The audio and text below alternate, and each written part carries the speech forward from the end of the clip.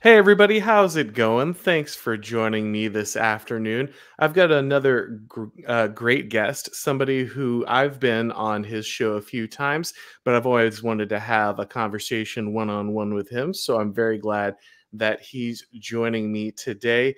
It is Gio, and I'm going to let Gio say his last name so I don't butcher it. Uh, but Gio is the uh, is the uh, co-host of the Break the Rules uh, podcast. They've got huge guests on there all the time. So definitely check that out. And he's also a very gifted artist and someone who really understands that discipline. So Gio, thanks for joining me, man. Oh, thank you. The pleasure is mine, Auron. I mean, this is uh exciting. Finally, we're having a one-on-one.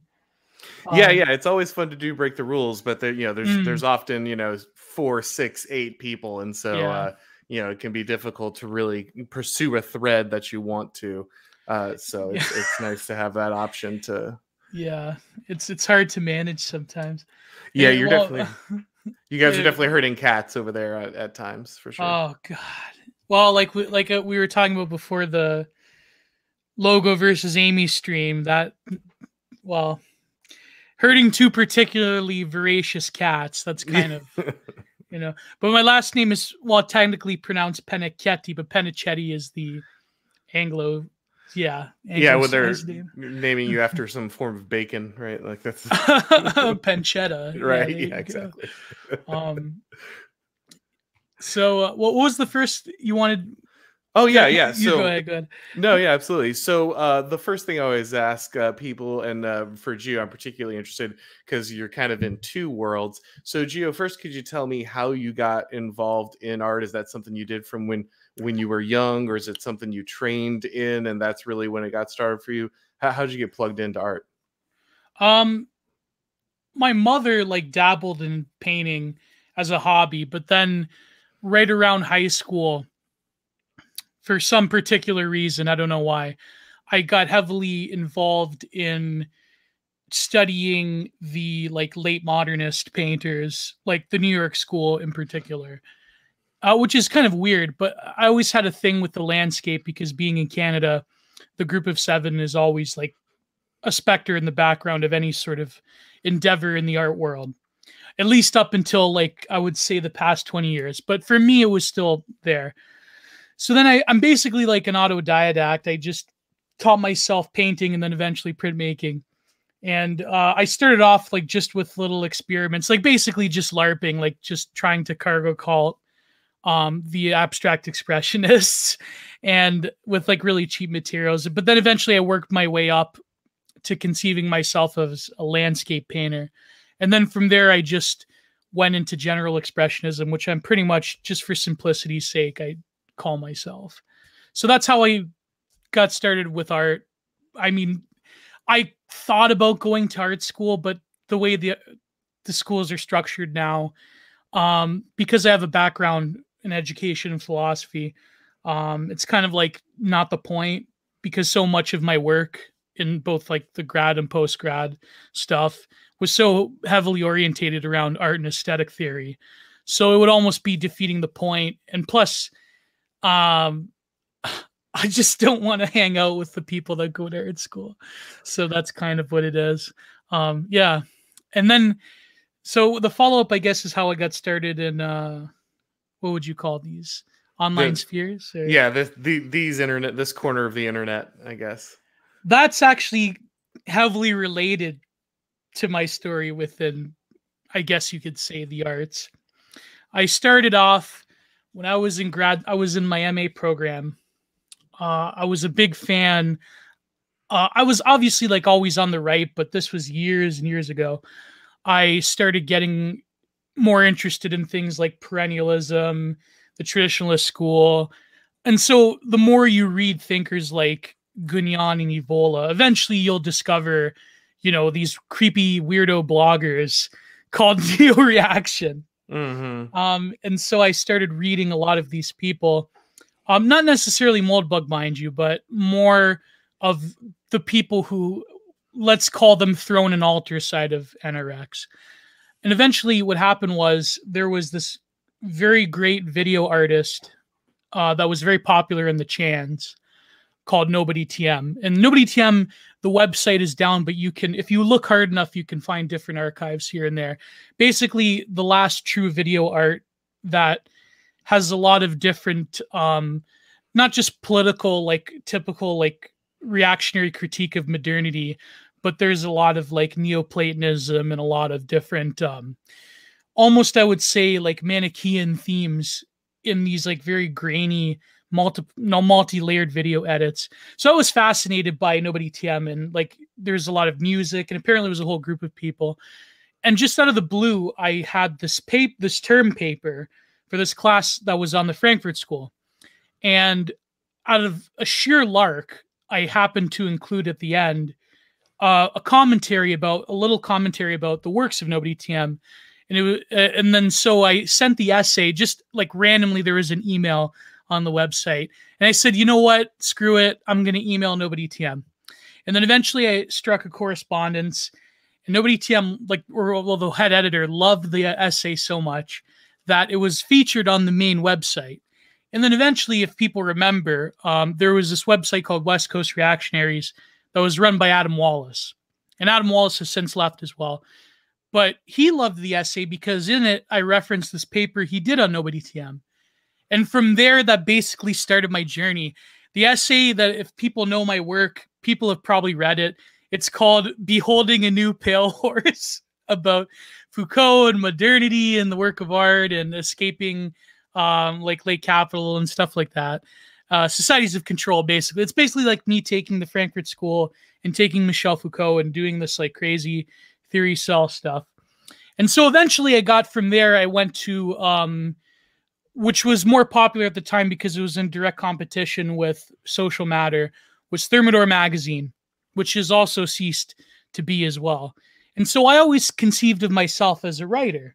But then eventually I started getting more involved in actually sharing my own artwork and going more into an art criticism direction with writing, which is kind of interesting because I'm there's only like me and a handful of other people that do it. I mean, in the online right, there was always people that do things like film criticism and stuff like that. But when it comes to the fine arts, I feel like there's like me and a few other people, and that's it. And so that's how my crazy journey sort of got started. And then eventually, like I wrote for other places, and um, I have to actually get back into writing because I, have written some more significant stuff on art criticism.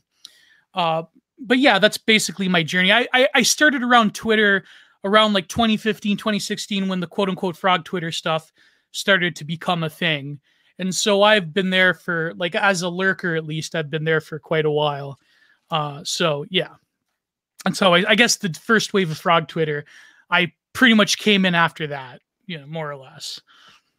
Yeah, no, it's always good to hear the deep lore because I really am a relative newcomer, you know, and so um, it, it, it is always interesting for me to you know hear all the different uh, publications and organizations and oh yeah. uh, you know and you know kind of kind of backwaters of the internet where a lot of this stuff kind of grew up um, because uh, you know there there are a lot of people who are around in those days and so I always enjoy hearing that but yeah I'm really glad that you're going that direction with what you're doing because mm. you know hmm. as I've said many times I, I think it's something that uh, we desperately need and it's something that you know I just have no ability to do. but I but I think I think that's why it's really important to you know encourage and grow you know kind of that uh, that uh, portion and that culture uh, around what's happening because without it, I think uh, you know you really are in a bad place and you just fall into this um, you know you're you're just another brand of of kind of pop culture without that. Yeah. You know, you're yeah. you're just a, a, different flavor of remixing and recutting headlines. Um, and and sadly, that's where my skills lie. So I'm not going to lie to myself, but I always want to promote so people funny, who have those other So, but it's so funny, Auron how you have that self reflexity to to realize that there are different levels. Like what you do is very like straightforward in terms of like you said the remixing and the cutting of headlines and in the sort of more general or streamlined application like that that that in itself does a service the way that memes do a service which i guess is the, sort of like the natural thing that we could talk about because a lot of this stuff like having been around for a while um a lot of this grew organically out of forum culture, out of particularly MyPostingCareer, which is how since forgotten because Pleasure Man paywalled it. and then, of course, Salo forums, where, you know, all of the greats of the early Frog Twitter days, whether it's BAP, whether it's Menaquinone 4, whether it's Hisperic to an extent, I think Hisperic was there. Um, they all came out of this. I mean, even Facebook, they basically came out of forum cultures and then they decided to move to Twitter to have a bigger audience. And so a lot of these organic concepts that we're dealing with, either politically or culturally, they they came in some way out of the chans, out of forums, out of like darkest, deepest pits, the deepest Africa of the internet.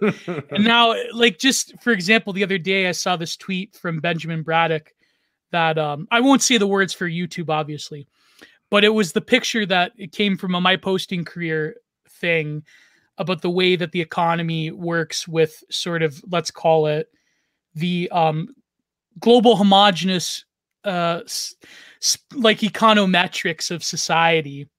Uh, it was a call. It was called the let's say the uh, SN cycle, and this post that blew up. It was amazing seeing like even people who were a semi normie like learning about this deepest darkest uh, MyPostingCareer forum post about how like the economy is for like minority um like in in sort of like the food the global supply chain of like food and resources and commodities you have like basically indentured slave immigrant workforce coming here to uh to like butcher and fry the meats for um certain other populations in America to rack up like atrocious health outcomes. And it's just it's really funny when you see something from years ago that was like this little dark niche of the internet grow into this like mainstream narrative. I mean even you said when you pointed out like fox news is using terms like the cathedral. It's like what what time frame are we living in right? Like it's it's quite fascinating. I guess meme culture has a way of doing that uh it has a way of because there is no genuine underground anymore. I think. That's the, the biggest problem is with the internet, there's sort of a flatness or a totality of discourse because even something that the way the internet is structured now, even the way that things used to be hidden on forums and usenet sites and things of that nature. Now, with the top five to become top four social media platforms, it seems that all discourse has been rendered transparent and even like the quote unquote normies can get woke on the uh, cathedral question or whatever right? So. Yeah and i think that's also i think you're right that you know because of the way the internet is now structured that stuff is like right next to the checkout line you know when it used to be back behind right? You know uh, and so you're right that i think a lot more people can pick that up casually. I think it's also uh, a fact that you know i think the uh, you know, in, in, anyone who isn't completely 100% uh, down, you know, like the Lincoln Project rabbit hole, uh, even in uh, kind of the conning sphere, mm. knows mm. that they're running out of uh, of storylines. You know, they're running out of ways to uh, you know to new and novel ways to express what's going on. Um, they their their constituents are losing um, pretty much all faith in, in kind of that Mitt Romney form of conservatism. Mm. Uh, and so they have to look outside. You know, for the first time in a long time, they actually have to make contact with their vanguard. Uh, because uh, I think they're all. I think there are a, a, a. I think there are some people who are genuinely searching for something different, and I think there's also just some people who are in the system who just know they're out of fuel and they need to find right. it somewhere, and so they're much more willing to reach for those vanguard ideas in a way that you probably wouldn't have seen, you know, even five years ago. I mean, you you see, uh, you know, the discussions happening on Tucker Carlson, uh, the yeah. the types of language and verbiage they're using. Uh, two years ago, what would have gotten you banned off of, uh, you know, the internet, yeah. gotten you, you know, uh, exiled from public life uh, for saying something like, you know, they're, uh, you know, anti-white hatred um, that would that would have basically immediately signaled you as someone who's outside the Overton window, and you never would have worked uh, in the industry again, even in the conservative news industry. Um, so I think you are seeing a, a, pretty big shift there. Well, well, that's the thing. I think that there's there's a sort of curse and a blessing there is Mhm. my point i think that the mainstream is out of mana they need a positron like the magic missile video a magic missile right like th- so they'll end up or rather let's say that i believe that one guy that worked for tucker he got that got doxxed by uh you know that organization oh yeah, yeah, yeah, yeah. he was like he actually was a mutual of mine believe it or Oh, not. was he?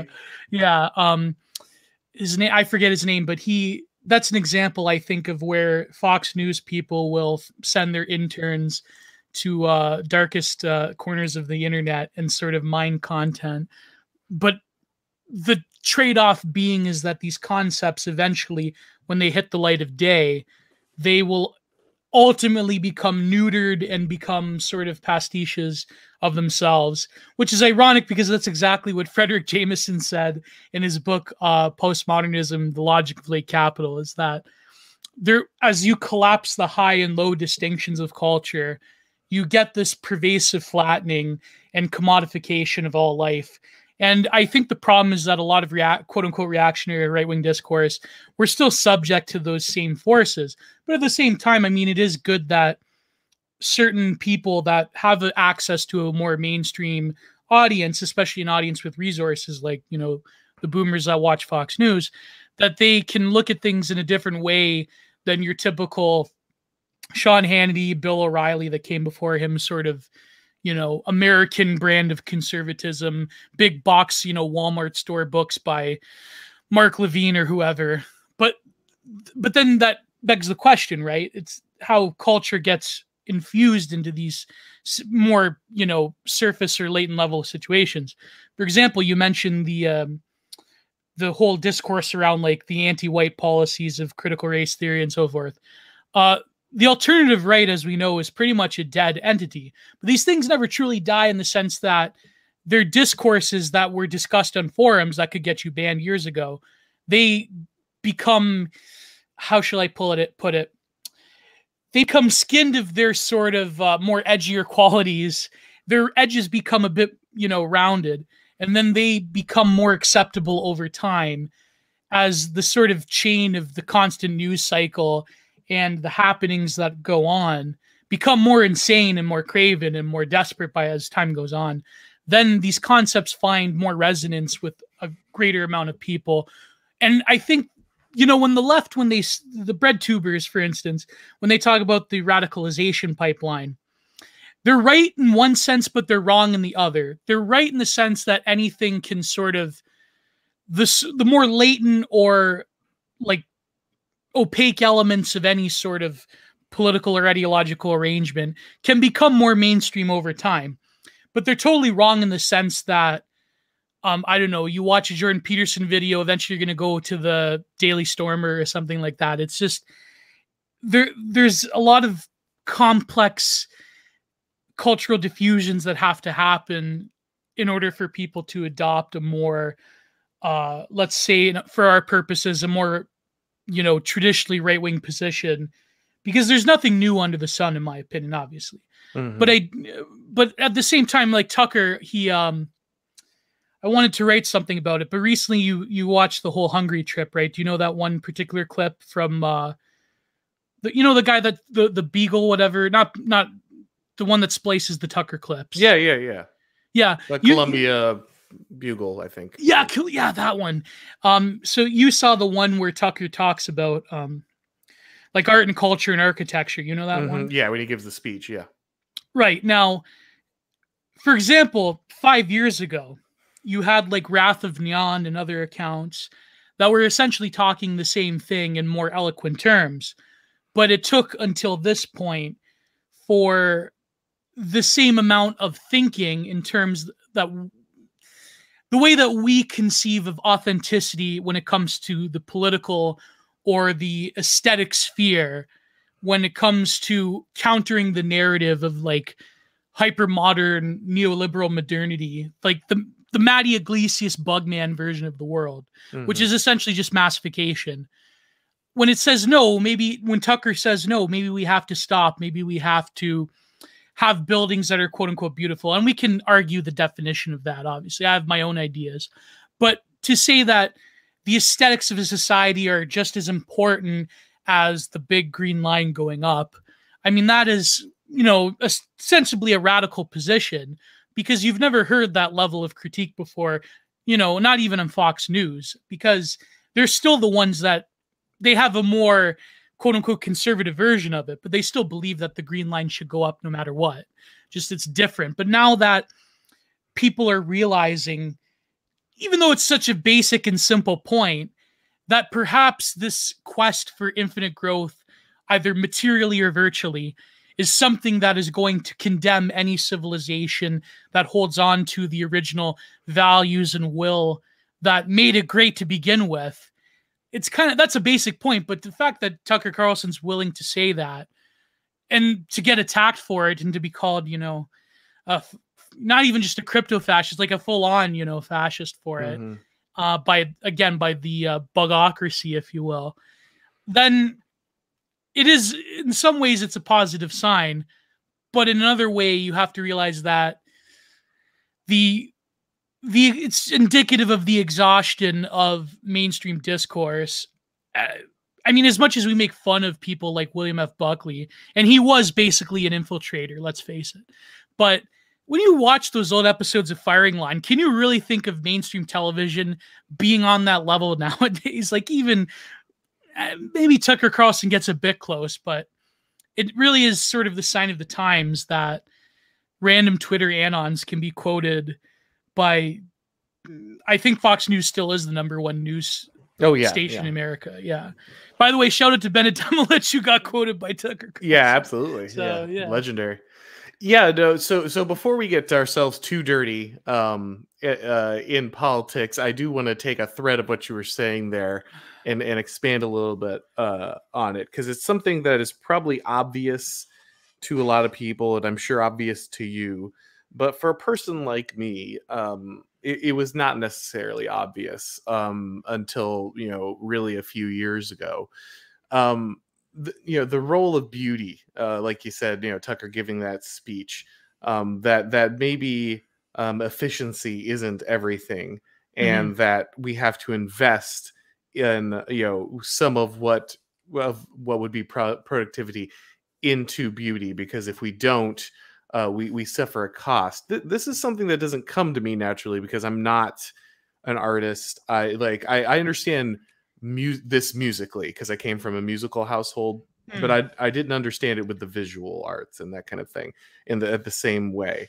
And so uh, you know it, it, wasn't too long ago five years ago I, yeah sure concrete buildings go for it whatever right? Like as long as i can get the most people into whatever and it makes the best you know uh, you know uh, spreadsheet numbers work then that's fine it, it wouldn't have something that immediately impacted me but i think uh you know c- kind of after some life events and and additional understanding of kind of the way uh, that this impacts us. It is something that, even though I don't naturally understand, it is something that I'm kind of more awakening to.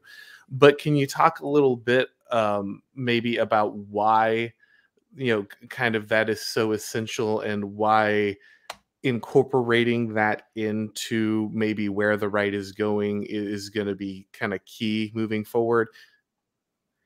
Well, Oh man, this is it's huge. Yeah, I just well, it's. I was gonna say it's probably the answer I would give is a bit more problematic, you could say, for the right wing than most people, because sure. I think, I, I think that when it comes to the question of beauty, there is, in a sense, an immediate, transparent, and disinterested notion of how people find beautiful things to be beautiful. There is, I would say, if you would go from you know the classic um, Kantian critique of judgment, disinterested notion of what makes the beautiful, there is an immediate gut instinct as to what we find to be aesthetically appealing. But when it comes to the issue of politics and culture and how you instantiate values, then something that can seem ugly or grotesque or abominable, in my opinion, could still be a sort of, let's say, second order beauty in a sense that it is relating to truth or relating to what we find to be a notion of at least a nominal and culturally contingent version of truth. I mean, I know this is very much a historicization of it because I I still think that's important. I think that as much as we admire sort of universalization of thought and sort of uh, metaphysical values, which of course I believe in, I think that when it comes specifically to the aesthetic, then there is space for our notion of beauty being more nuanced than I would say kitsch or something like that, or something that is immediately sensually beautiful. Beauty has to come from a deeper commitment to an authentic and truthful self and being than something, you know, a bust of a Greek statue or some 19th century classical painting that, you know, academic painting that, you know, this is my critique. If you listen to my other uh, talks, for example, my more recent one with Russell Walter. It's great YouTube. He's just starting out in YouTube. Great channel. Uh, I talk about what a term I called vulgar tradism, where you have a very basic sense of like, well, this is trad. This is a girl in a wheat field, right? Like mm-hmm. those those things are important. Obviously, there there has to be an art that celebrates our transhistorical values, whether it's the family or religion or so forth. But the problem is that you get seduced into just another form of mediated kitsch, which can distract you from those values in pursuit of a mere sensuous beauty that, in a lot of ways, is counter to the aesthetics of hypermodernism, which we can get into, whether it's flat design or whether it's like these abominable global homogenous art. But at the same time, the problem is that you're just falling into another form of kitsch that ignores the importance of these experiments within modern art that in a lot of ways were anti-modern. That's my whole point. There's a lot of modern art that is just as uh, let's say maybe not traditionalist certainly but just as metaphysical or transhistorical as anything else. It's just that when it comes to the stereotypical examples of like pointing to a Cy Twombly painting or saying like, you know, how ridiculous this Hockney doodle on his iPad is. I mean, that's very simple and it's very to the point. But I think the problem with the right wing approach to art has been this closing off of the possibilities that at least a lot of these modern art movements presented to people but like, I mean, I'm not ignorant of the fact that a lot of these modern artists they were, you know, commies and they had very terrible personal lives and all that. But I think the problem when the discourse around beauty that we're talking about, there are things that are beautiful. To repeat myself, well, in fear of repeating myself, there has to be a deeper understanding of beauty than just what we think of as traditional painting or traditional aesthetics or even traditional music because it would rob us of an actual powerful counter narrative to what is allowable in the work of art nowadays. And so I think that's the problem with a lot of this discourse around beauty. So I, I if that makes sense to you, or and I don't know. No, it does, uh, and I think a lot of that is reaction to the elite class and yes, knowing yeah. it's like I know these people are my enemy. Yes, I know these yeah. people hate me. I know that they have they desire something I would desire. So whatever they're producing must be tainted. Um, right. and, and so that that's probably a decent instinct, but it's not um, it's not going to serve you properly if if you I guess if you want to explore everything and and and if you discard everything from that, then I guess that can be a, a downfall. But I was interested. Then, are you familiar with with kind of Spengler's? Oh yeah. uh, position here? Okay. So in that case um because this is you know the uh you know as, as much as my limited knowledge is this is certainly part of where it comes from.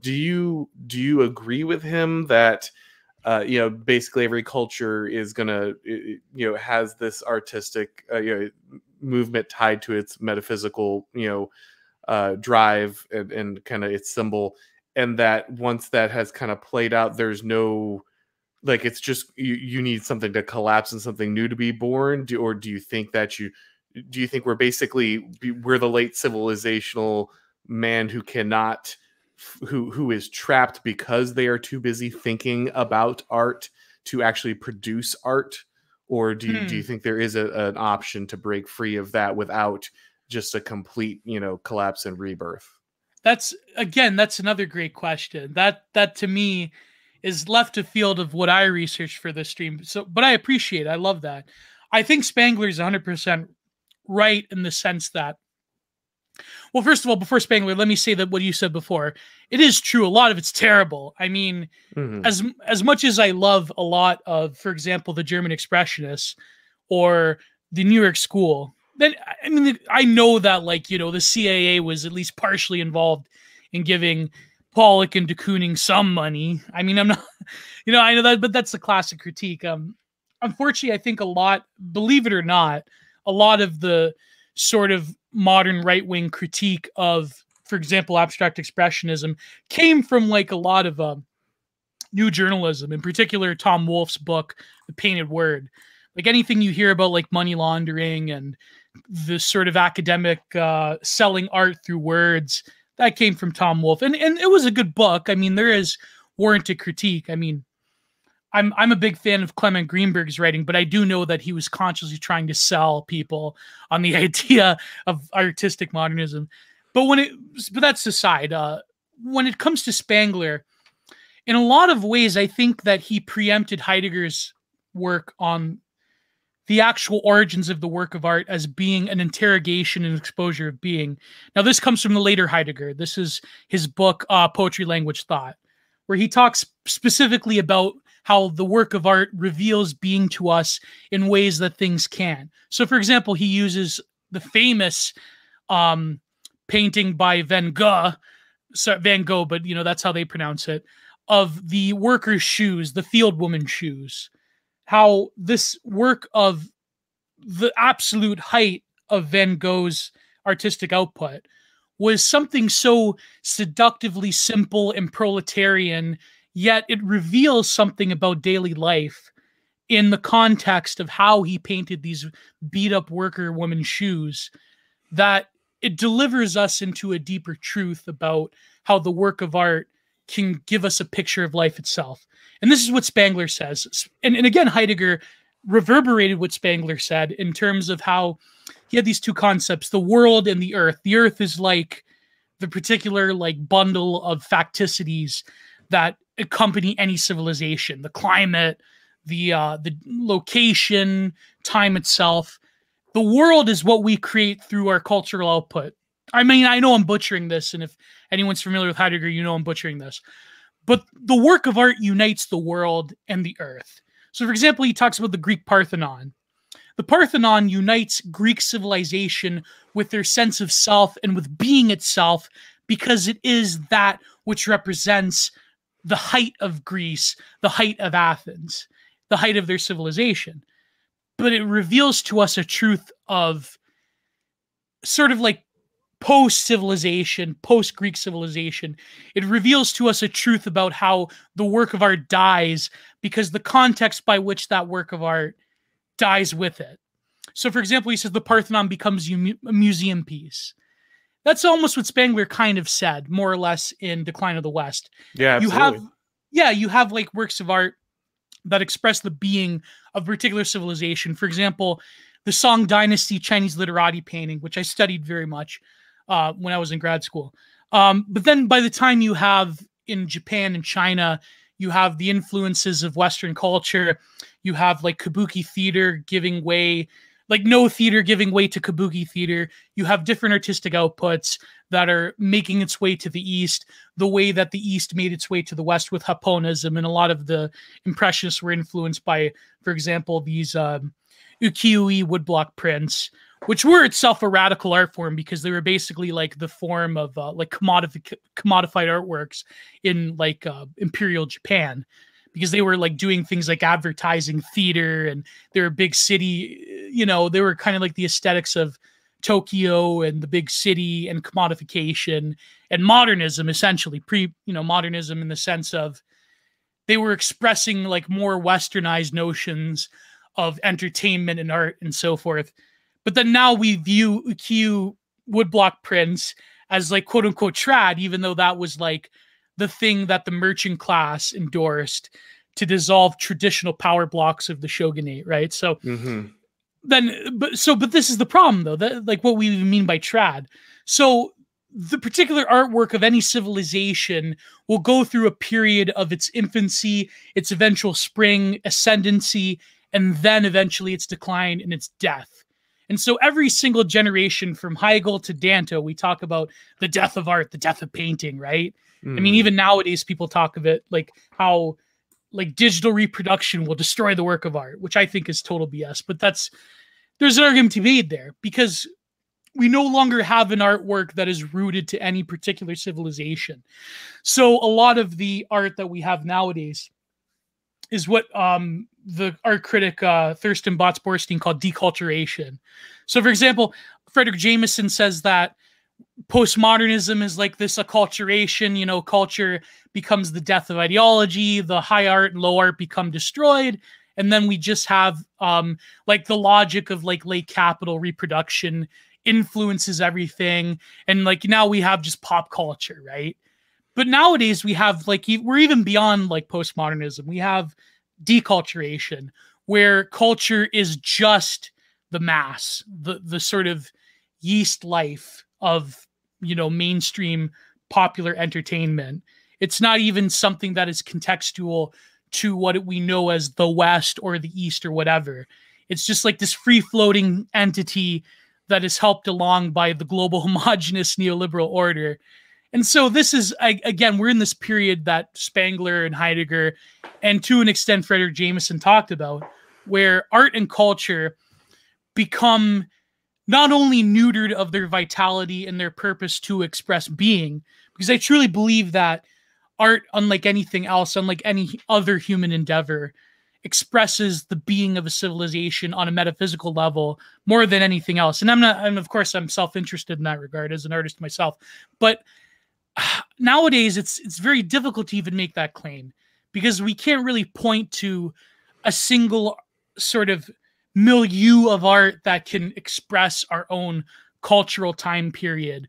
Because now it seems that you know the sort of end of history thesis has won in some respects because there is no period. There's no um you can't say like for in the past you had in the 20th century you had you know cubism expressionism y- you know you can't say that there's an ism anymore because our art has been so thoroughly decultured that you can't really say okay i mean to an extent you can because there is things like post internet art and whatever what have you but it's just like when it comes to what spengler said this is just natural progression. We're we're in a time where the image and the aesthetic is all around us because of digital technology yet the image and the aesthetic has become so thoroughly meaningless as it to the point where it might as well not even exist so sorry i'm just rambling right now so. No, no, no, absolutely. Yeah. So uh, I'm trying to maybe it was Mark Fisher, but uh, but do you agree with uh, some people who've said that it's the constant ability to experience all generations of culture uh, and all worldwide cultures simultaneously right now that keeps art from being produced and moving forward? Yes, 100 percent. And um, I think Mark Fisher talked a little bit about that in K Punk. And well, in his his book on hauntology, he talks a bit about that.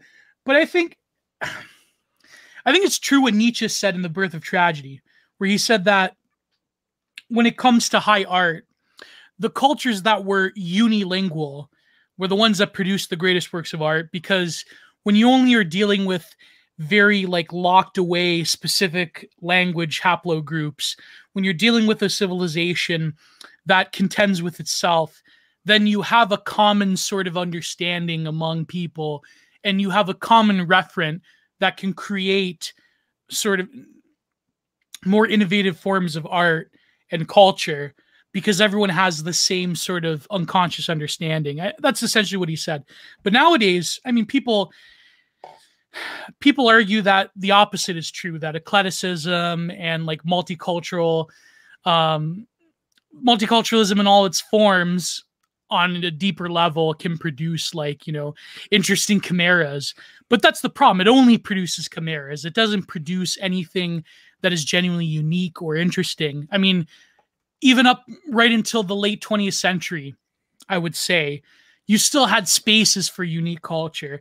But now that globalization through you know technology and the sort of pantheon of images that we're surrounded by all the time uh can we really say that this has been a a heyday renaissance for the work of art you know it's ridiculous right? I mean i know i'm sounding like a basic trad but it's the truth. I mean in a sense the sort of access to art movements and the access to images and the access to all cultures or at least the you know trinket tourist version of them has benefited in some ways people who are more keen but for the vast majority of humans on the face of the earth that are consuming these cultural products, no, I would say it's been disastrous. I would say that I know it may come hypocritical because, you know, I'm not like the most, uh, I mean, skill is such a difficult thing to quantify, but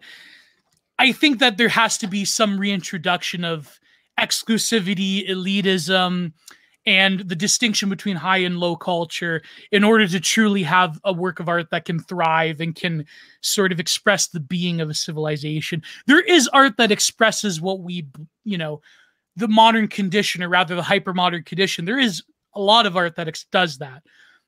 But the the problem is the artist has to build from the ground up their own sense of enculturation and being that makes sense. Like they have to, and, and so a book that I was heavily, heavily influenced by, and shout out to him. Uh, I desperately wish to talk to him one day. Hopefully, I'm on BTR. Is the book by John David Ebert called Art After Metaphysics? Everyone go and buy a copy.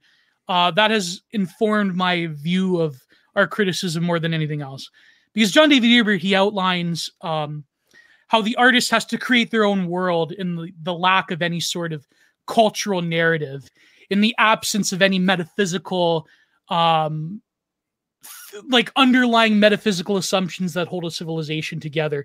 The art the artist is free but the artist is condemned to that freedom to create. And so a lot of this like romanticism and existential crap they don't realize the downside of that is that we live in a world where we don't have any common cultural or metaphysical reference and you're condemned to just becoming like a micro world unto yourself. And which is terrifying actually. It's not something to be meddled with. It's again to reverberate nietzsche it's like what nietzsche said about the last man or the ultimate man is that you're condemned to this freedom of having your little pleasures in the day and your little pleasures at the nighttime right? And there's nothing noble about the sort of uh, Matty Yglesias bug world, you know, all cultures colliding into one, and you get to choose which level of high fructose corn syrup cultural commodity that you can buy in any given circumstance. It's really, um, it's actually hell. Actually, when you think of it, it's it's it's mm. it's really satanic, in my opinion. It's satanic in the sense that we believe we have agency over everything that makes us a human to begin with that that is the problem with modern art and aesthetics and culture is that we believe that we have agency over the very things that used to give us meaning themselves. And uh, sorry go ahead Auron. I'm, I'm no no I'm no you're fine. i was just right now. I was just going to say that that's uh you know that echoes a lot of what cs lewis said in oh uh, yeah. in in um uh uh book i cannot suddenly remember. Um but but letters? No no no. Uh the uh, the one where he's talking about the the book that they the the guys are draining all of the abolition of man. That um, yeah, the abolition of man. Yeah, yeah, yeah. yeah, yeah. And, and he says, you know, as soon as you have that generation that completely materializes and completely controls and manipulates every aspect of what makes you human, those are the last generation of men. That that's yes. the, that's the abolition of men because whatever comes after them is no longer fundamentally human by by by gaining control over everything that makes you who you are you have completely destroyed right well the you know the ability to continue uh mankind uh as it was so what I'm interested then is, and I know this is, you know, as always, predictions are dangerous. Uh, mm-hmm. But from the artistic perspective, like I know, obviously, you know, we talk about this socially and politically and such, but but from the art, from kind of the art and culture perspective, do you think then that we're looking at a situation where uh, eventually the Tower of Babel just falls and then mm-hmm. the shatters, and all these cultures can return to the land and kind of build themselves separately again?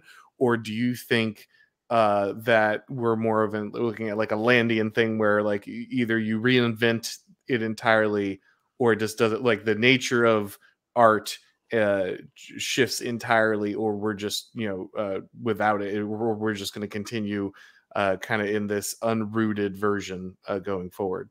I, I think that we're going to experience the latter for quite a for quite some time, but mm-hmm. I do mm-hmm. see that people have a hunger for their unique and cultured expressions. But when it comes to, for example, land, I, am thinking of uh, who's that one YouTuber? It's like a group of people. They have like this really kitschy, blocky um, aesthetic animation, and it's like I effing love science stuff. Kurt oh, Sigard. Yeah. Uh, okay. Yeah, it's something like that. Kurzgesagt something. Uh, I'm not super familiar with BreadTube. I know some people. No, it's not BreadTube. Bread it's like oh, this okay. pop science YouTube channel. Oh, okay. That's like gets millions of views. Uh, it's like some Scandinavian or Swedish name, and they have like these really kitschy, um, like neon colored animations. Uh, they had this one video I remember about how the work of art will disappear because robots will create art that's better than humans or some some silly ridiculous materialist spiritually insectoid version of that. I think people truly believe that we've moved beyond um, the need for the work of art. Some people at least. Some very spiritually small souled type of people. But i do think that when things become more chaotic and when people are going to lose their cultural understandings, then you will see people trying to build anew, at least in sort of marginal and fugitive senses, the way that the online right has managed to harness like meme magic or whatever. Mm-hmm. Um, but I do think that don't get like don't kid yourself here. When people they you know lament this thing about postmodernism, that's to me that's BS in the sense that we live in a world of hyper modernity. Postmodernism has sort of come and gone because what we see now is an imposition of a meta narrative that is more vast and totalizing and punishable by the offense of, you know, impersoning than anything else in human history, in my opinion. Even worse than any sort of heliocentric European Christendom the power over people's minds have become immense by this particular meta narrative that we're experiencing. So, but when it comes to the work of art, let me give you an example. This is the first chapter of the book by Fredric Jameson, Postmodernism, where he has this brilliant passage on, um, you know, that one painting by Edvard Munch, The Scream. You know? Yes, yes. Yeah. Okay. That that is to me because I'm I'm such a big fan of Edvard Munch in terms of what I do with painting and what I do with printmaking. He was also uh, doing things like wood woodcut printmaking. The scream to Fredric Jameson, he has this brilliant point about how the scream is like the absolute apex, the absolute top, the last representation of high modernism. Not in the high modernism of like I effing love science and human progress, but the the ability of the modern to engage the self contra the self in the sense of the scream embodying you know enemy and existential angst and our desire for transcendence that's been uh, interrupted by like you know our technological modern hellscape where the self has to confront itself. That's the essence of the scream. And so Fredric jameson says that was the last work of modern art because it has the sense of like the modern obsession with psychoanalysis and and uh, the, the self is clearly something that's there.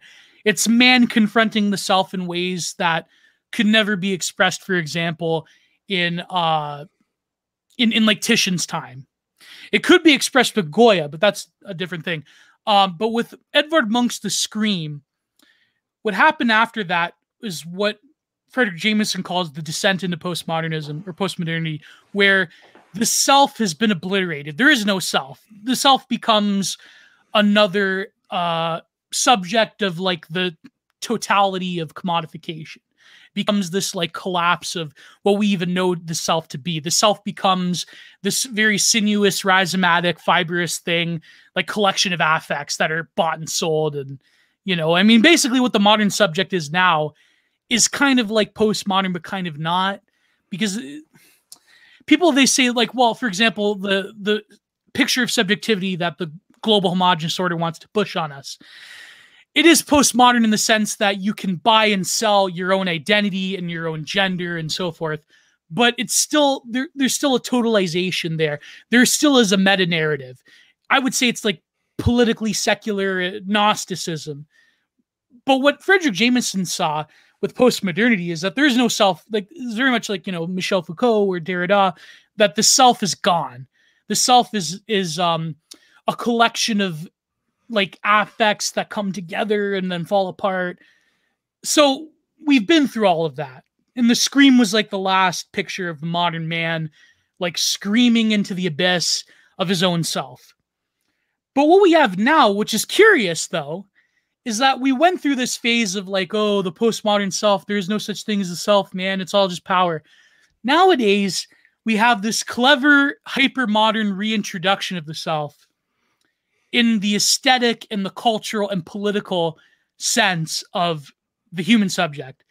Because now the global homogenous order is now telling us that, yeah, the self is real, but the self is something that we dictate through hyper political, ideological aspects of what we even know to be modern existence, right? So Fredric Jameson says that in postmodernity, like ideology is destroyed it's ultimately capitalism because you know he's a marxoid right um but nowadays can we say that there still is like this total obliteration of ideology no it's not because ideology is what makes the modern essential self the mm-hmm. modern political left still believes in an essentialism they, they just have a way of disguising that essentialism. This is why I think the conservative uh, right wing attack on post modernity is sort of like a wrong headed thing because where is this great post modernity? Where is this fibrous self? Where, where is this sort of free play expression that even Fredric Jameson saw had aspects of a reactionary, like like a backdoor reactionary, um, let's say, uh, how how did he put it?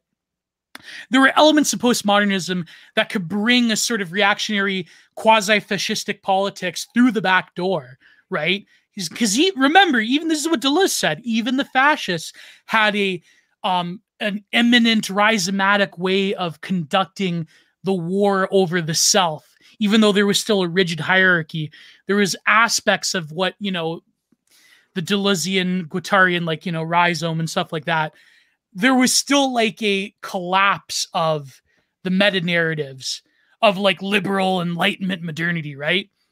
There was still like this react, like even within the heart of reactionary thinking, there is elements of post modernity in that because we're rejecting the meta narrative of liberal, uh, like post enlightenment, end of history liberalism. But nowadays, this whole thing, like the Jordan Peterson, oh, well, it's postmodern Marxism. Where is the postmodernism? Where in fact, our sense of self, whether it be through gender or race or whatnot, that's even more essentialist and even more reified than ever. It's like they're like postmodernism became inconvenient for the like global homogenous empire, so we had to get rid of it. And but of course, like conservatives are always late to the party, right, so they're like, yeah. oh, well, it's postmodernism, man. Sorry, I'm just ranting right now. No, no, no, yeah, attacking the enemy 20 years after it's moved on to something else. like, but, no, yeah. literally 30 years. Yeah, 30 yeah. years. Because postmodern, like the 80s, that was a you could argue was the the sort of apex of postmodernity. Right? So yeah, uh, yeah, sorry. sorry. So the, the the thing I wanted to pull out of there, the thread I wanted to pull out of what you're saying there, because I've uh, I've heard you express sentiments like this before, and this is very similar uh, mm. to what one of my friends, the distributors, has said a number of times uh, uh-huh, which uh-huh. is that uh, you know the postmodernism always uh, should have been a reactionary um, movement, or should the react, reactionaries always should have picked up on uh, postmodernism. But since we are at, since we are kind of a, a now attacking the the popular Jordan Peterson formulation, let's actually get a definition because I think it's so rare that oh, someone God. actually stops to do this. And and we, yeah, I know that there again it could be anything, but what is postmodernism? Both both you know in, in an artistic sense. Is it only in an artistic sense? Is that the only place it belongs? Is it also something social or, or philosophical? Like mm. what what do we actually mean here uh, when we're saying postmodern? Well, like that, that's one thing. I mean, you could get a million different answers by sure, a million sure, different sure. people. I mean, there there's even like um I mean, there's great articles and YouTube videos. Unfortunately, by you know, by Soy Jack uh, Theory Cells on YouTube that are part of affiliated with BreadTube.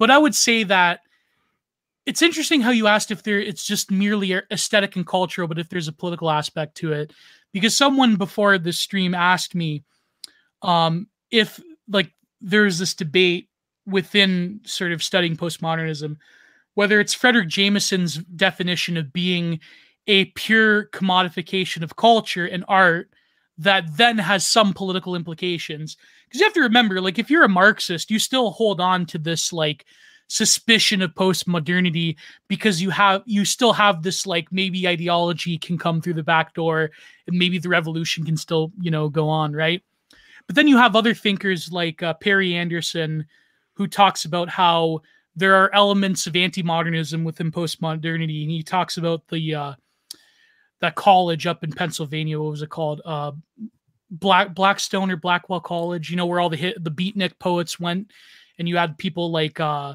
Rauschenberg interacting with John Cage and all that stuff. And so I, I agree that postmodernity has to do with culture, politics, aesthetics, and philosophy. Um, now, in terms of definitions, I mean, the general sense is that it's a rejection of modernist meta narratives and structuralism. It's like the uh, cynic- cynical, quasi nihilistic, um, eclecticism, celebration of eminence as opposed to transcendence, because even um, high modernism and liberalism has elements of the human condition being overcome through our own like power of like utopian intellect and and pr- progress and all that crap. It's a supreme sort of skepticism.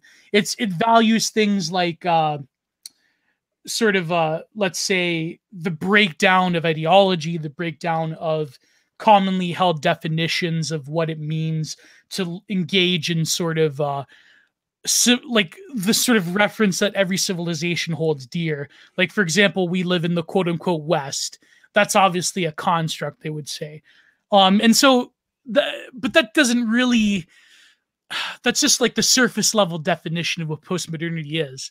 Because people even argue over whether we even had postmodernity to begin with, right? But if we're just going with definitions, then I think that you could say that it's a rebellion against the particular meta narrative of post enlightenment rational utopian liberal society that could be a good you know definition and then later on you could say that post structuralism with uh thinkers from like you know Derrida and Foucault and so forth, that they had a hand in undermining the sort of uh, classical narratives of the age of reason itself. So, and and there was always reverberations of it, even within the work of art. I mean, you could say that Goya was the first modern painter, but it had elements of the rejection of like the quote unquote traditions of modern painting itself, right? Like even even modern art had like you know became reified to a point where it became a tradition. Like you know, like like for example, in postmodernity, you could have the reintroduction of things like representation and you know figure painting and so forth rather than like the orthodoxy of the six of the 50s and 60s which was um you know abstract expressionism and so forth. So for example andy warhol is considered like the first quote unquote postmodern artist because he's dealing with this like collapse of high and low culture. He's dealing with things like mechanical reproduction in the work of art as opposed to this sort of uh, need for like the authentic immediate expression of the artist that the modernists held dear you know, in in some sense, a lot of his screen printings. There's there is no sense in which Andy Warhol himself, the man, or rather the imago of Andy Warhol, actually like touch the image in terms of like this thing called the you know aura the essence of the painting. It's like jackson pollock the way he like danced around the canvas and you know he really threw the paint down in different ways. It's like that is his immediate expression. It's like cataloging his every movement. Whereas with warhol that's like the total opposite.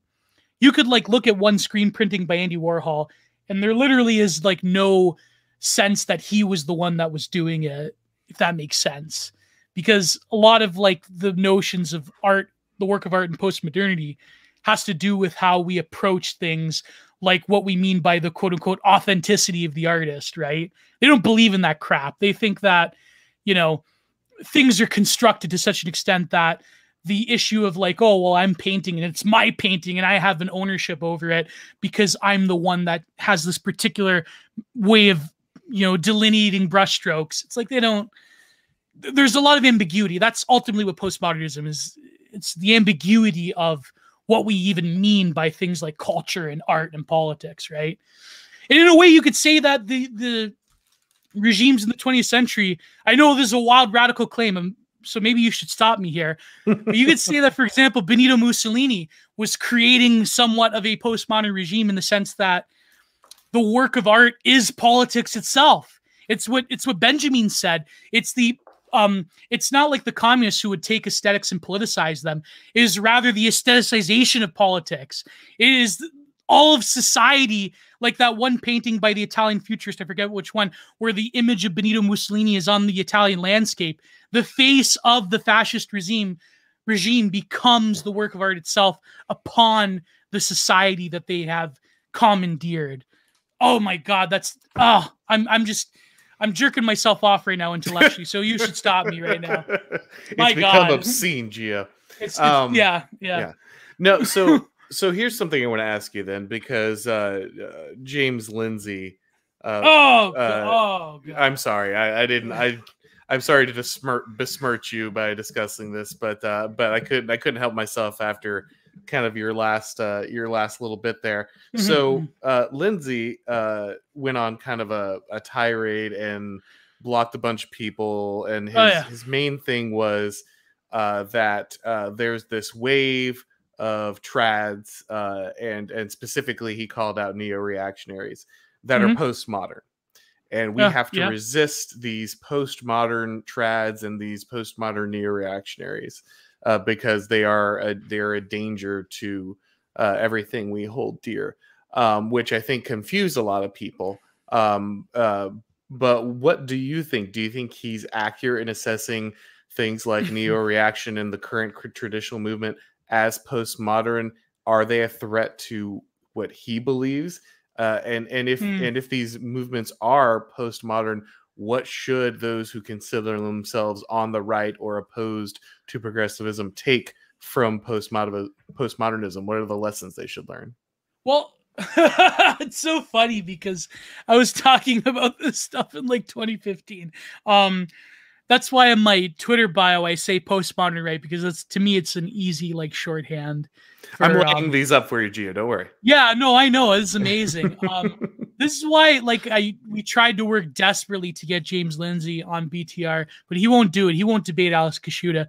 Um, so I think that in in a sense, yes, only partially. I think that there are elements of postmodernity in the modern, let's say, dissident right. Just, I mean, there are some people like my friend James, uh, my friend Josh Neal, that think that there is no such thing as the quote unquote DR. But I think that just as a, a an easy heuristic, let's just call it the dissident right, which includes neo reaction. Mm-hmm. Now, I think that unfortunately, the formalism of people like Moldbug, I, I hate I hate to insult your boy, but I think That's that right. you can have your swing at him. It's okay. Yeah, I think that they still consent tacitly to um, a lot of assumptions of liberal modernity. I think mm-hmm. that they basically, in some ways, certain neo-reactionary figures they basically like we want our own like based and red pilled version of neoliberalism unfortunately but no, I, I, think do, i think that's an absolutely fair uh, yeah uh, yeah But when it comes to conservatives, when it comes to James Lindsay, when it comes to the Fox News people, maybe apart from Tucker Carlson, I mean these these people are modernists. They they they believe in the progress of the modern world. They believe in the project of the post enlightenment uh, what post enlightenment rationality can give us. They are thoroughly moderns. They are frustrated moderns, unfortunately.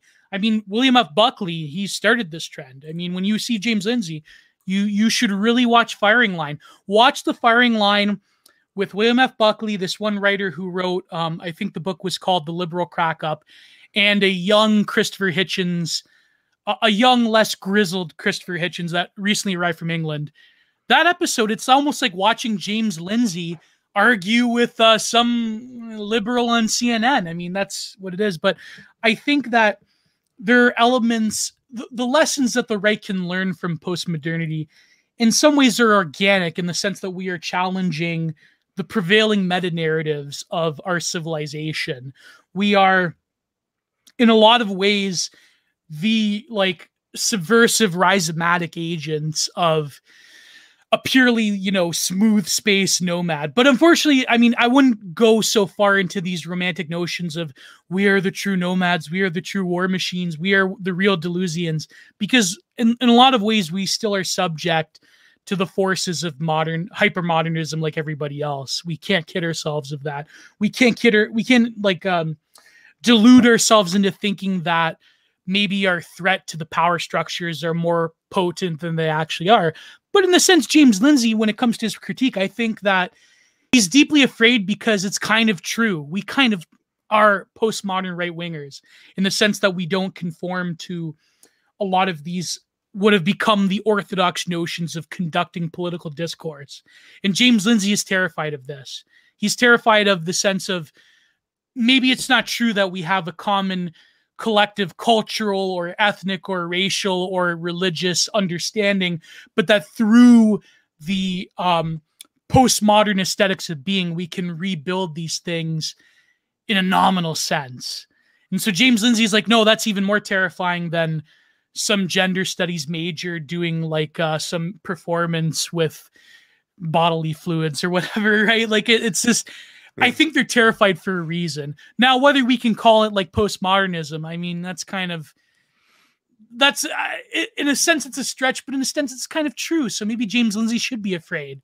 I don't know. Well, well it's funny because this is always the you know this is always their last argument, right? This yeah. is their their final argument is is the, like they'll always say things like yes the uh, you know the inability to do arithmetic because two plus two is now six is bad. Right, right. um and and and you know only and we're we're going back to segregation because of the the new uh, racial theories being taught and uh based we can't, we can't, we can't yeah, right, yeah but but but you know like like this is they'll say like all that stuff's bad but their final argument and james lindsay's final argument is right. always and if you do this eventually a real right wing will show up right that's yeah, what they're always saying is yeah. is is because it's never like oh the thing you're doing is like completely deeply moral morally horrible like it might be an inconvenience it might make doing right. medicine hard or something but the thing you really need to worry about is at the end of the day this could bring a real reaction this could bring a real uh, uh, uh um, opposition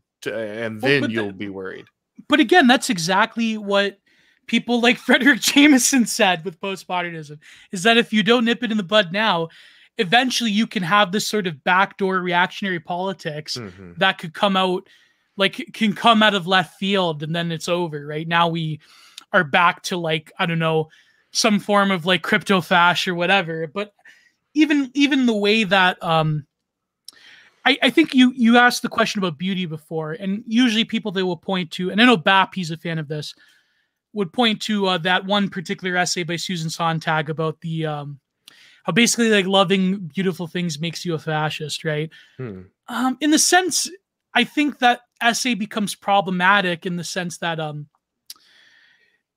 the the the sort of let's call it the global homogenous empire is adopting uh, notions of kitsch and beauty and the sublime for their own ideological purposes. And we no longer have a monopoly on things that people consider quote unquote beautiful. I mean, a lot of it is terrible and ugly and dehumanizing, and the humans of flat design are basically like a political weapon that has been born out of things like, um, you know, post impressionism and uh, cubism and so forth. But when you really look at it, I mean, a lot of this sort of like kitschy sentimentalism is becoming a tool of global empire of the political left or whatever you want to call it the the sort of uh you know. And so james lindsay that people like him and jordan peterson and so forth they come along and they critique the right wing as being like oh well you know you're postmodernist now and all this crap. Um it it, it it's in a way it's like it's uh, uh it's denying the actual truth of it right? Like it's it's a purposeful distortion on their part. But in a way it's a distortion that has some truth to it. It's like it's an unintentional truth of people like james lindsay to point this out. Uh, mm-hmm. for, so I, I wrote my notes here. I talked about how um if you compared jameson in the book on postmodernism to what nick land said um you're well aware of the fact that Xenosystems have come out in pdf right? Oh yeah yeah you know i've yeah. been i've been uh, screenshot sharing a different yeah portions. yeah the number two in Xenosystems i think it was either two or three the blog posts where nick land said that um, traditionalism is the sort of past utilizing making a war upon and enslaving both the present and the future yeah you yeah you, yeah he's using each yeah. one of these movements and comparing them to like what section of time they're right. unifying. Yeah. Yeah. Progressivism is the opposite. It's the, you know, futurism and progressivism. But however, I do think that there is a base trad and red pill futurism. Uh, but futurism, for convenience sake, is the enslaving and destruction of the past and present in service of the future. But what Nick Land says is that nowadays we have the worst, the absolute worst of both worlds. We have an eternal present that enslaves both in, enslaves and erases, by the way, both the past, which is obvious because anything beyond the 1960s is verboten and anathema, but also erases the future, which is even more interesting. So, postmodernity, people would say, is what we have now. But in reality, I would say that it's more of a hyper modernity that erases the the future hmm. because at least within post modernity there is like some inkling that a form of futurism can you know rhizomatically break away from the plane of immanence and you know do all that you know flowery theory cell language to describe you know essentially breaking into the future through a seismic rupture whether it's cultural or political or whatnot right but now what we have is the denial of any possibility of rupturing into any future or any return to the past. We have an eternal present that has wiped away all cultural distinctions and has fulfilled the promises of this sort of like enlightenment instrumental reason to police all of life and including our notion of the self and make of it this like what I guess we call in reactionary spaces like the gray goo of being you know like that's you know patrick deneen right? Like uh mm-hmm. it's not that liberalism failed it's that liberalism you know was too effective. Yeah it got and, exactly and, what it wanted yeah. Exactly. So james lindsay is just as much a product of the gray goo. Fox news conservatism in america at least and in canada let's i i don't have a distinction between canada and america obviously. Um you guys make a you guys make a fine hat, and yeah. Well, yeah. Canada really is the petri dish of any social experimentation that will infect America eventually. Um, but in a way, like that type of conservatism, that type of discourse, that is just as much a product of the present destroying both the past and future than anything else.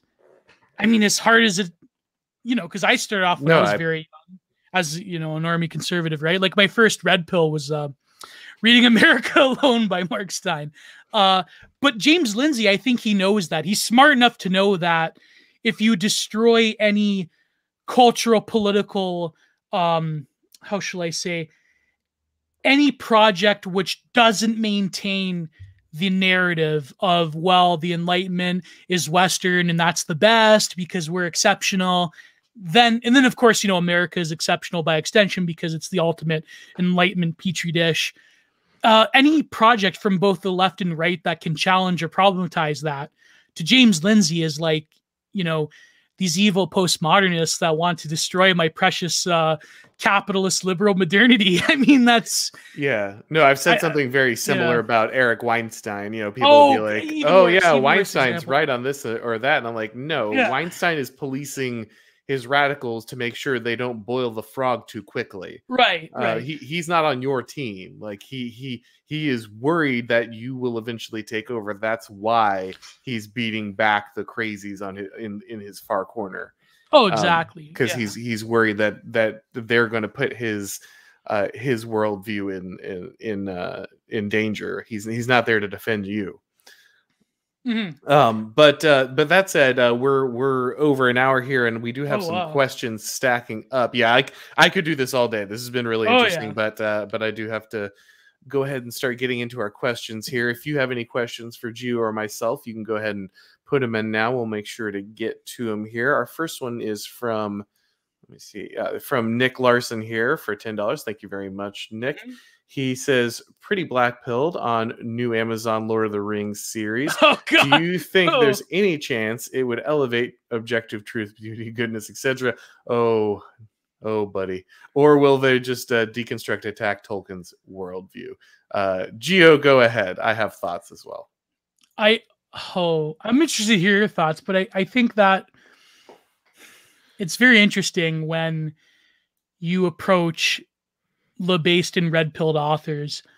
I think that if it can steer young children towards the actual works of Tolkien, that it could maybe be good, but it's not going to get to that level. I'm pretty black pilled in this because they have an ability to sort of take what is deemed quote unquote problematic cultural outputs and, and franchises and distort them to the point of being not only unrecognizable, but sort of salting and gaslighting the ground from which yeah salting the earth and gaslighting people um, from which those original franchises stood. Like for example i saw this article and um, by the way mel magazine's like the absolute worst abominable millennial like theory cell drag right? Like a pretend theory cell. It's like buzzfeed with more verbiage. This article today in mel magazine about how like the sopranos is embodying um something about like queer male identity or some crap. Yes, I saw that. yeah. Yes.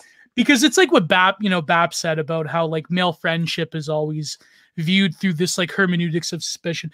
But I mean, even like how uh, I'm not even going to get into it. But yeah, I'm pretty black pilled in the Lord of Rings series. I think that they can take a lot of medieval or fantasy narratives that rely heavily upon the bonding and the um, the bonding of male friendship through a warrior cast, and they can like apply this very like misinterpreted like Mary Beard Hellenism towards it, where they're basically all you know you know what right.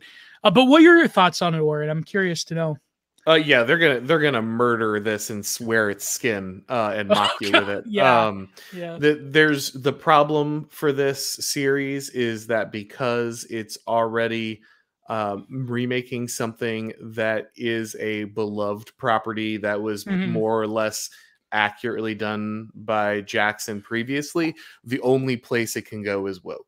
There's there's just yeah. no other place for it to go. It it's not going to get more traditional, right? Like that's clearly not where they're going to go, and they're not going to just redo the Jackson stuff. Um, so the only place for it to go is to make it about the themes they want to make it about. There's there's literally nothing else they can do, and they've been pretty explicit about this already, oh, right? Yeah. Like they've already said that hey, we're going to put like explicit material and stuff in here, and so um no, I I think that uh, whatever this is it will not be lord of the rings it will have some yeah. of the names it will it will it will take place in some of the places that are listed uh, but it will have been completely gutted of anything yeah. uh, that that was actually. By the way, I gotta have a bone to pick actually with the distributist, mm. and he's been on the show. I've talked to him. He's a great guy, but his recent, not his most recent video, but his video on arts and culture.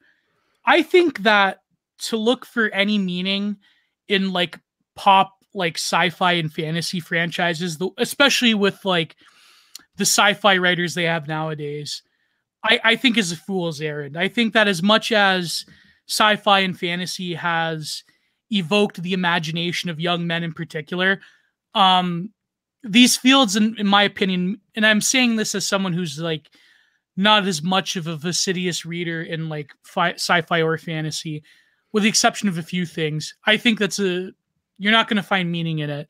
You're not going to like find a based in red pilled version of Star Wars. I'm sorry, I hate to say it. Maybe Robert Heinlein, but that's pretty much the closest you can get to a based in red pilled. Um, because sci-fi from its beginning was like this weird progressive modernism. I mean, even Asimov with his neurodivergent listing of different worlds and and uh, psychohistory and so forth. I I think I don't mean to insult people. Obviously, I think that you could probably produce sci-fi.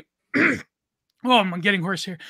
Um, you could produce sci-fi that could have a like vision of futurism that is much more in service to our goals. But the way to go about that can only come organically. It can't like this is my problem, I think, with that distributist's video is that you can police a franchise and a mythology all you want, but that's not the way that these franchises and these like well-known um, artistic outputs come about. Like that's certainly not the way that Tolkien came about, mm-hmm. right? I mean, so we're kind of having to build these things from the ground up. But to look at like, you know, oh, what about Narnia? What about Tolkien? What about this and that? I mean, sci-fi and fantasy, they are largely just the products of the culture industry now. I hate to say it, but even Tolkien's going through this. Yeah, I uh, think. Yeah. Oh, sorry. Uh, I think one of the things that uh, guys like me and the distributist can run into is um, distributist is probably more creative than I am, but we're just not in our core like culture creators, right? Right. And and, right. and that's which means that when people ask us for solutions like that, we're reaching in for tools we don't necessarily have and and it feel right. and and it's rough because you know this stuff needs to get made you know it needs to get produced you know it's essential and you know you can't do it and so but but because you're uh like a, a voice in the community people turn to you and this is why i always tell people like please like don't rely on your content creators for everything because um, you know that's just not always their skill set. The the things that brought them to your attention uh, in this kind of modern right. environment are not the things that build what you need. Um, well, even even someone like um, like ZHP, who's a great friend of ours, mm-hmm. um, I think that when I read a lot of his short stories, um, he's doing theory fiction in I think ways that speak to our own condition, but they're still possibilities. They're not creating, and I think that he would say this as well that he's not trying to create a universe unto itself, but rather he is creating a picture of possible futures that have a pretty big resonance with a lot of the common trends and themes that we're experiencing in our own world. Now, is there a sense of redemption in those works? I struggle to find it.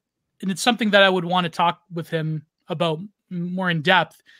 But I think that if you're going to look at a sci fi um, person that is necessary, and I'm just saying this because he's my friend, but I think that even though ZHP's works are more necessary than ever, um, I, I I don't think that they would inspire the same things that Tolkien inspired, nor should they.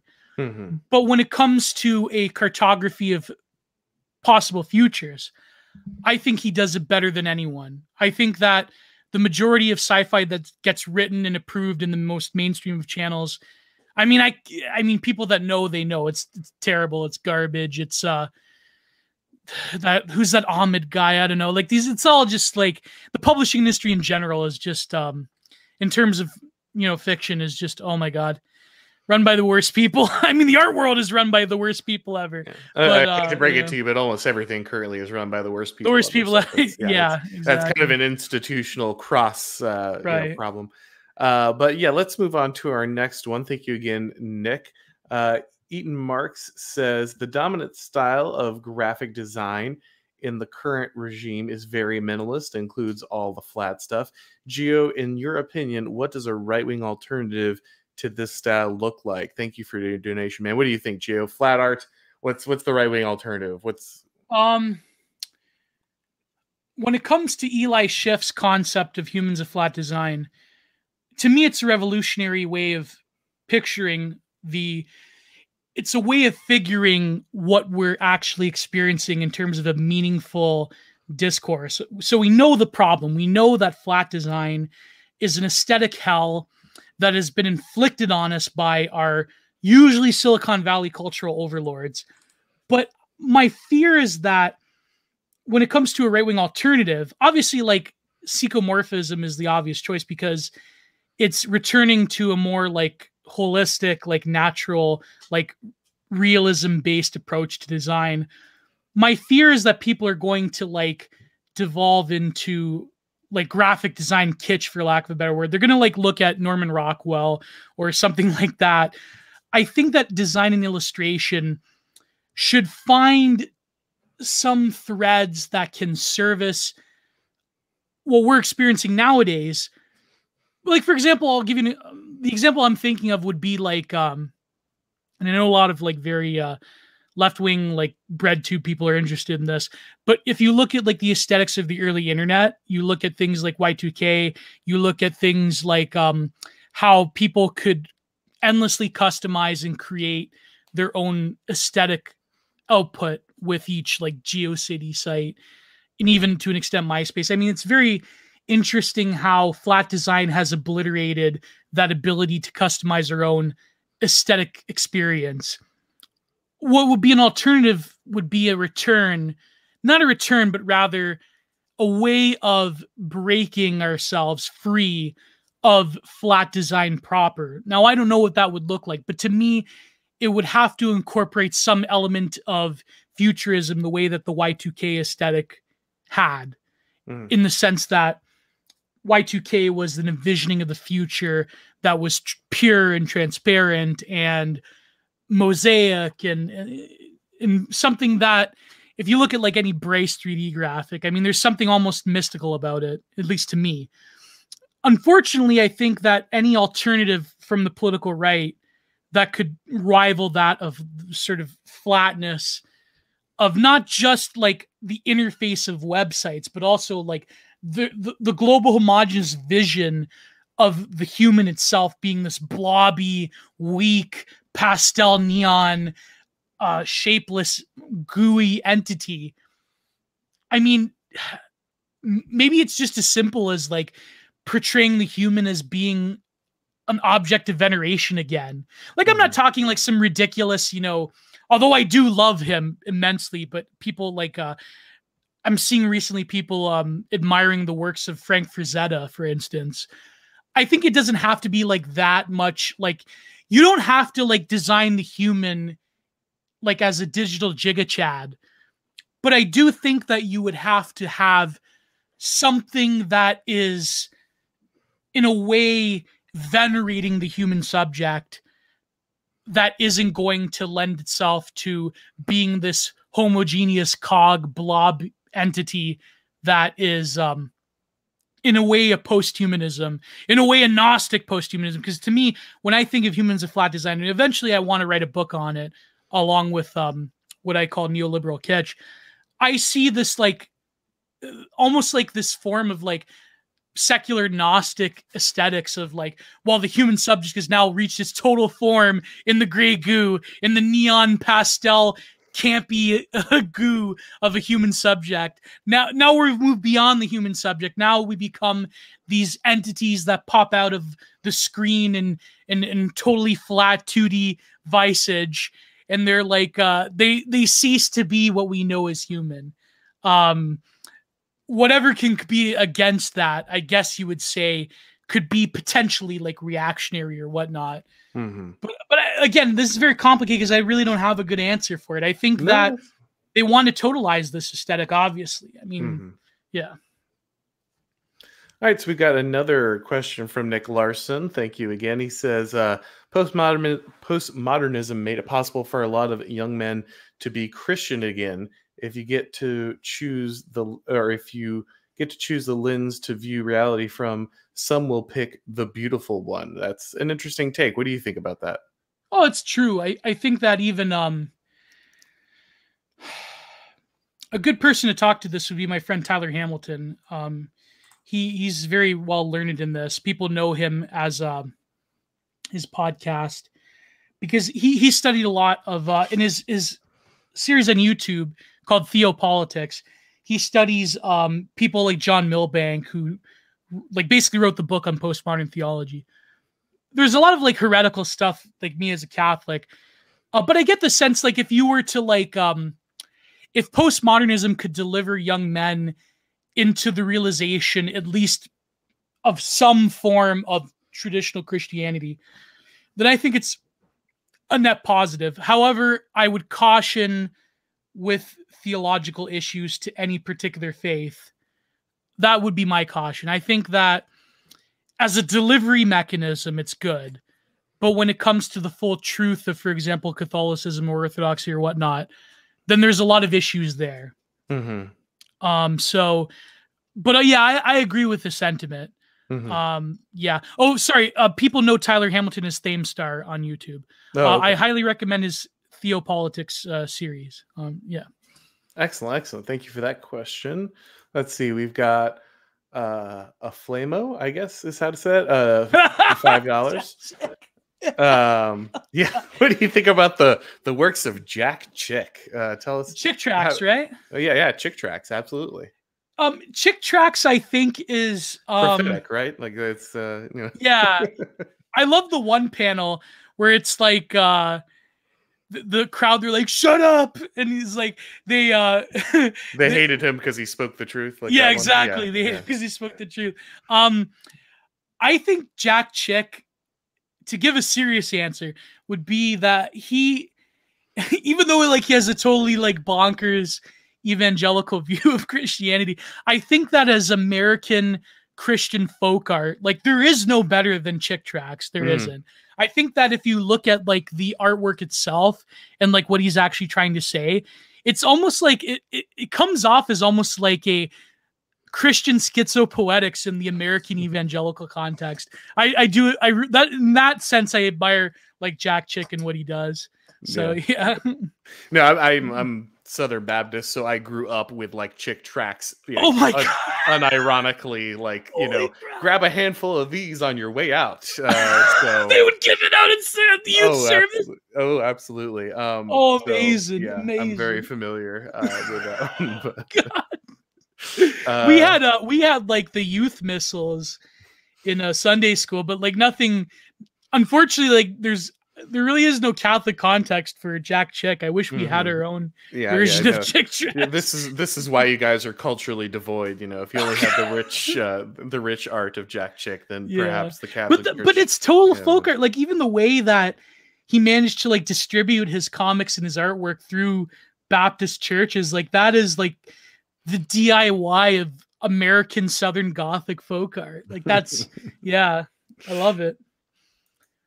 Carbon Mike for thirty dollars, very generous. Thank you, sir. Says thanks for the excellent talk. Who is creating exit style networks uh, for aspiring creatives who want to make beautiful and good and true works? And what kind of infrastructure do they need? Well, I do know that uh, if you uh, speak, uh, if you go to my last talk, it was uh, with. Uh, uh, with Bennett, Dr. Bennett there, and Mm. he is starting a exit organization uh, though I think his is more for general employment. But I'm Yeah. sure that you know that it, there, all of this stuff is in its infancy. All of this is kind of being you know built from the ground up, and no one has everything laid out yet.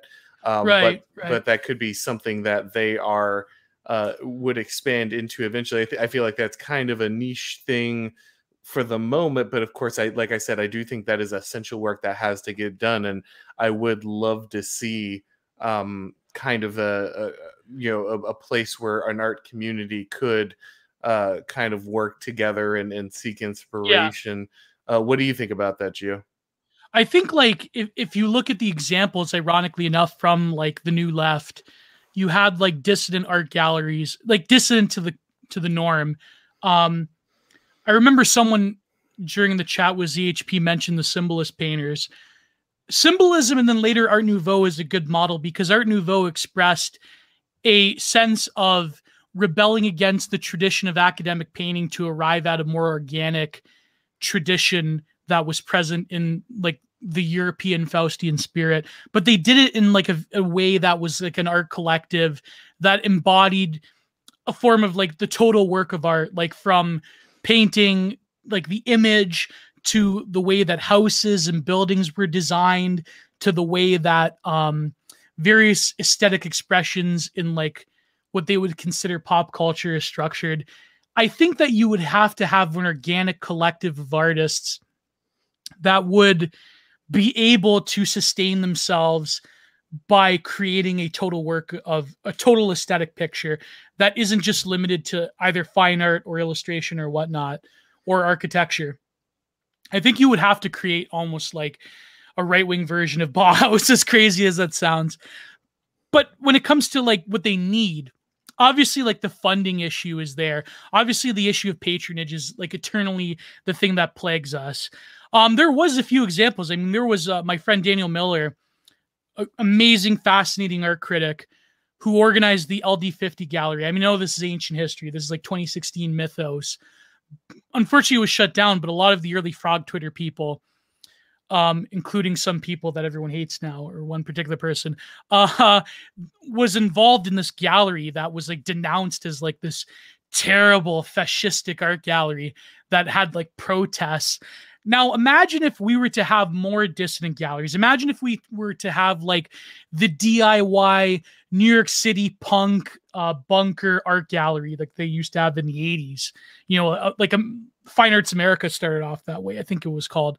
Um, if you had like actual attempts to bring these things out more, I think that would be good. For like even just the patronage issue. I mean, if you are an artist – and this is something I have to do actually. If you are an artist that does things that are um, a bit more appealing to the eye, then you will have like small, like local regional towns filled with boomers that probably would be willing to like buy your landscape paintings. Or like you could probably take over some of these like smaller regional galleries. Like, for example, if like it's a bit more difficult with fine arts, but I mean, when it comes to other things, like I mean, there's plenty of examples of music of uh, musicians with you know quote unquote problematic beliefs.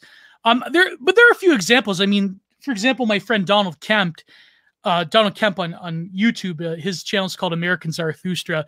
He has this thing called the White Art Collective, which uh, they're they're basically like a group of artists. I mean, of course, they're more like, um, you know, explicitly white nationalist, obviously, but I, I I applaud what they're doing in terms of actually trying to make a difference and trying to like do things like revive folk art and like revive folk music that are integral to uh, their like you know pan European identity.